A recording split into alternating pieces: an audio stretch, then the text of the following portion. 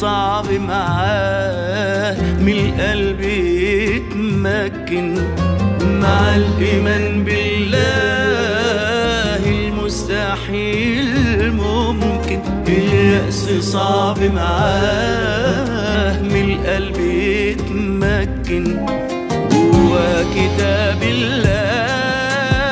من كل شيء مثل. نجاه أسلوب حياة.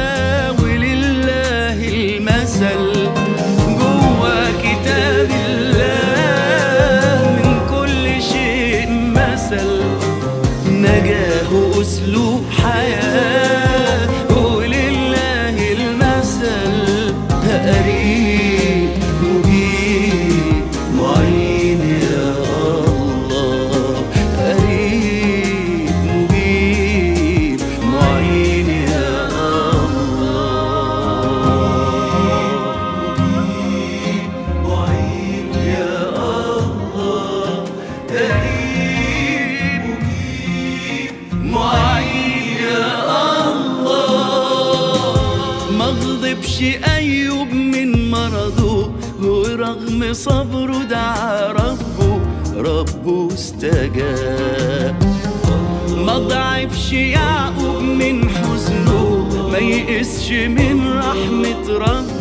دعاه استجاب.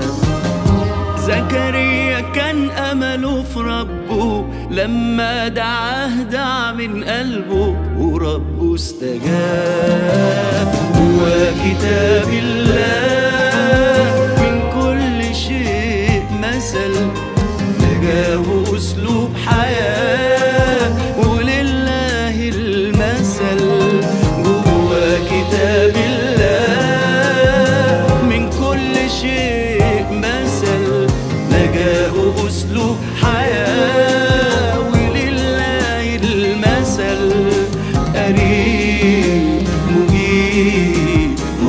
Savior.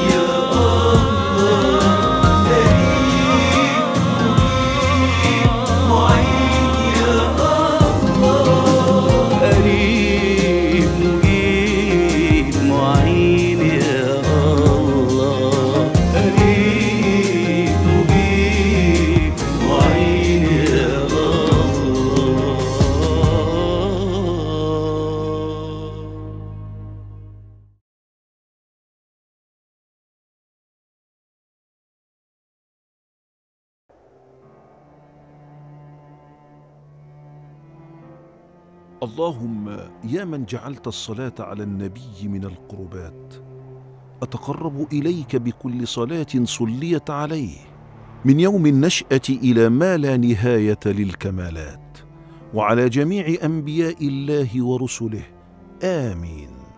وبعد أيها الأحبة فإن قصتنا اليوم من قصص القرآن الكريم قصة عظيمة. لنبي عظيم صبور غاية في الصبر. ابتلاه الله فوجده صابرا. لقد اجتمعت على أيوب أصناف البلاء. قال تعالى إنا وجدناه صابرا. نعم العبد. إنه أواب. لقد صبر أيوب لوجه الله على ما ابتلي به من الضر العظيم. صبر عن معصية الله فلم يجزع وصبر على أقدار الله فلم يشتك لغير الله وصبر على طاعة الله لأنه لا زال يعبد الله. فاجتمع لأيوب أنواع الصبر كلها فنعم العبد أيوب الذي كملت مرتبته في العبودية وصبر هذا الصبر العظيم. اطمئن. كان التهابا حادا بالزائدة وأجرينا له جراحة عاجلة هل الحالة خطيرة أيها الطبيب؟ اطمئن سيتعافى سريعا هل أبقى معه هذه الليلة؟ لا داعي لذلك ويمكنكم زيارته في الغد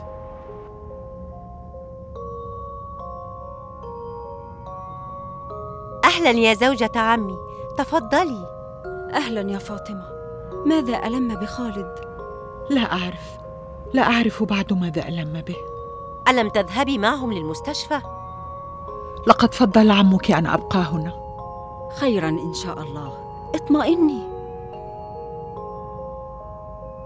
راشد كيف حال ولدي؟ هل هو بخير؟ اطمئني يا فاطمة. هو بخير والحمد لله. لقد أجروا له جراحة عاجلة لاستئصال الزائدة الملتهبة. لماذا لم تدعني أذهب لرؤية ولدي؟ يا فاطمة لا داعي للبكاء. سيكون بخير إن شاء الله. وسنذهب إليه جميعا غدا إن شاء الله. وسترينه وتتحدثين معه. أريد الذهاب الآن لرؤيته. ما بك يا فاطمة؟ ما بك؟ ألا تستطيعين الصبر للغد؟ كيف أصبر وولدي بعيد عني؟ اصبري يا زوجة عمي كما صبر أيوب ها قد أتى مازن بالفائدة ها ماذا تقصد؟ إنه مثل يضرب للصبر يا زوجتي العزيزة لقد صبر نبي الله أيوب سنين كثيرة ألا تستطيعين الصبر يوما واحدا؟ ها؟ وأين أنا من نبي الله أيوب؟ الله سبحانه وتعالى يذكر لنا قصص الأنبياء وما مروا به من محن وابتلاءات لنقتدي بأخلاقهم ونعتبر. وبمناسبة الحديث عن أيوب وصبره ما رأيك يا عمي لو تزيدنا علما وتحكي لنا المزيد عن هذا النبي الصابر؟ كان أيوب برا تقيا رحيما بالمساكين يطعمهم ويكفل الأرامل والأيتام ويكرم الضيف. وكان أيوب عليه السلام شاكرا لأنعم الله مؤديا لحقه وامتنع عن عدو الله إبليس أن يصيب منه ما يصيب من أهل الغنى من الغرور والغفلة والتشاغل عن أمر الله بما هو فيه من متع الدنيا. وحين سمع إبليس تجاوب الملائكة بالصلاة على أيوب وذلك حين ذكره الله وأثنى عليه أدركه البغي والحسد. فجمع عدو الله إبليس عفاريت الجن ومردة الشياطين. ماذا عندكم من قوة؟ فإني قد سلطت على مال أيوب وهي المصيبة الفادحة والفتنة. التي لا يصبر عليها الرجال. لقد أعطيت من القوة. ما إذا شئت تحولت إعصارا من نار وأحرقت كل شيء آتي عليه. فأت الإبل والأغنام والمراعي ولا تبقي منها شيئا.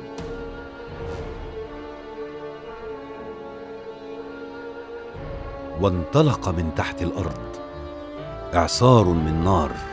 لا يدنو منه أحد إلا احترق. فأحرق الإبل والأغنام وأتى على المراعي فلم يبق منها شيئا.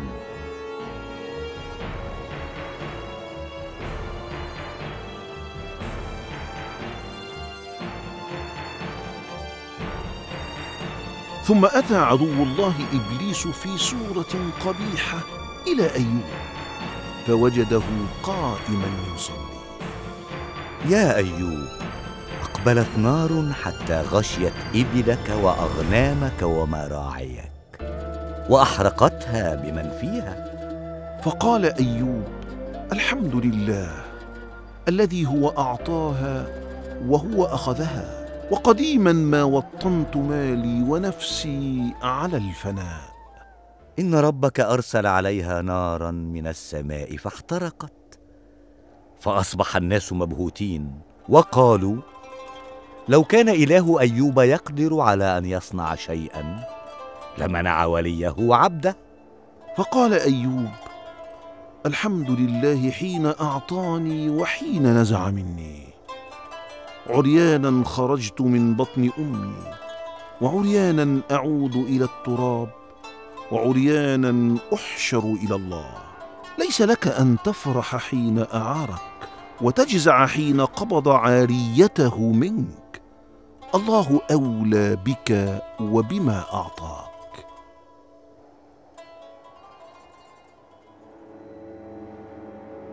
رجع إبليس إلى أصحابه خائبا خاسئا ذليلا. أعياني هذا العبد الذي لم أدع له مالا ولا ولدا ثم سلطت على جسده فتركته قرحة ملقا في العراء لا يقربه إلا امرأته فلم يزدد إلا صبرا. أشير عليه ماذا أفعل معه؟ أين مكرك الذي أهلكت به من مضى؟ بطل ذلك كله في أيوب. من أين أتيت آدم حين أخرجته من الجنة؟ من قبل امرأته. فشأنك بأيوب من قبل امرأته. فإنه لا يستطيع أن يعصيها أصبت.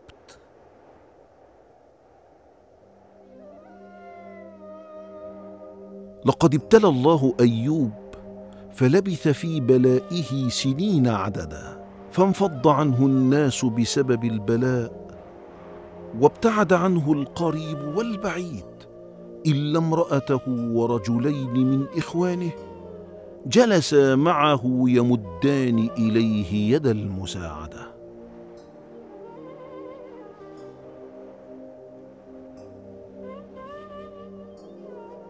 انطلق إبليس حتى أتى زوجة أيوب. أين بعلك يا أمة الله؟ هو ذاك المبتلى الذي يحك جراحه. يا حسرتاه على أيام. كان يرفل فيها في المال والنعيم ويا حسرتاه على شبابه الذي ذهب.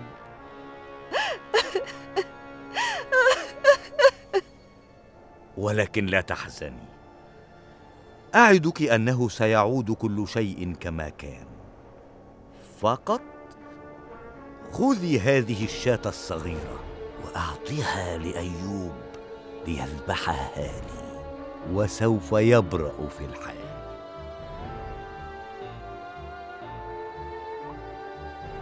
أتت الزوجة إلى أيوب باكية يا أيوب إلى متى يعذبك ربك؟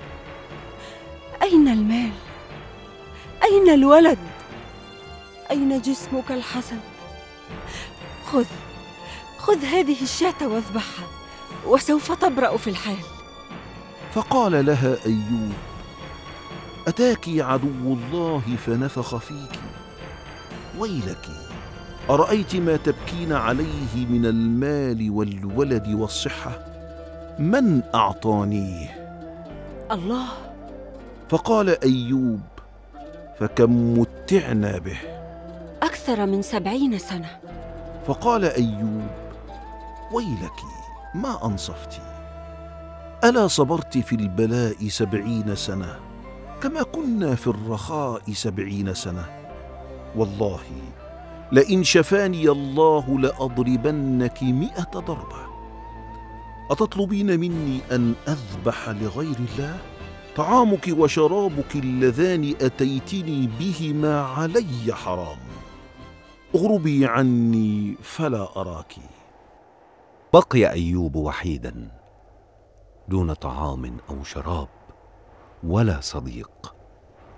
فخر ساجدا ودعا ربه وأيوب إذ نادى ربه أني مسني الضر وأنت أرحم الراحمين.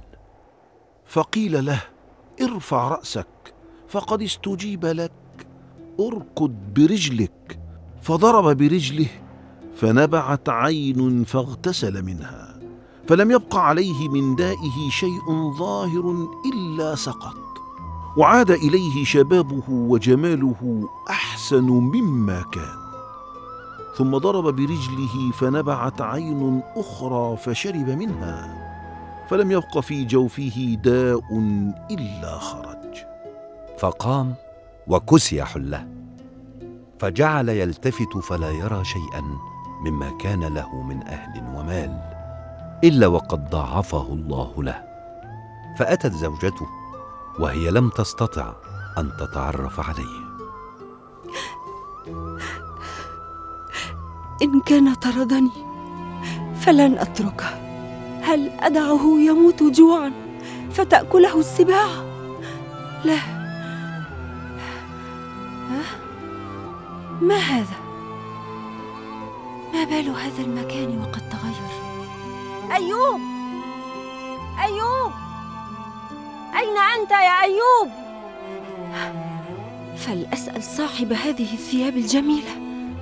دعاها أيوب وقال لها ما تريدين يا أمة الله؟ أردت ذلك المبتلى الذي كان ها هنا منبوذا. لا أدري أضاع أم ماذا حدث له؟ فقال لها أيوب فهل تعرفينه إذا رأيتيه؟ وهل يخفى على أحد رآه؟ أما والله إنه أشبه خلق الله بك إذ كان صحيحا. فقال أيوب فإني أنا أيوب الذي أمرتني أن أذبح لإبليس وإني أطعت الله وعصيت الشيطان ودعوت الله سبحانه فرد علي ما ترين.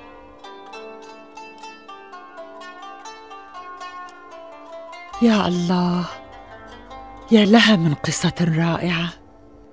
إنها فضيلة الصبر التي حثنا عليها الحق سبحانه. الصبر عند الابتلاء. لقد كان ثواب أيوب على قدر صبره. لقد نزل حديثك هذا علي بردا وسلاما وأزال الجزع والخوف من نفسي. الحمد لله. هيا إذن لنتناول طعام الغداء. هيا.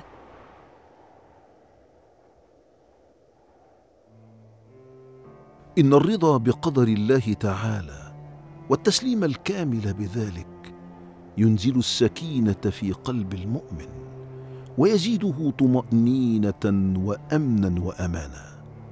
والصبر على المكاره يزيل من النفوس الهم والغم. فيعيش المؤمن في سعادة. نسأل الله سبحانه وتعالى أن يجعلنا من الصابرين وأن يعافينا في الدنيا والآخرة. إنه هو السميع العليم. وصلى الله على سيدنا محمد وعلى جميع الأنبياء والمرسلين. بسم الله الرحمن الرحيم. وأيوب إذ نادى ربه أني مسني الضر وأنت أرحم الراحمين. فاستجبنا له فكشفنا ما به من ضر وآتيناه أهله. وآتيناه أهله ومثلهم معهم رحمة من عندنا وذكرى للعابدين.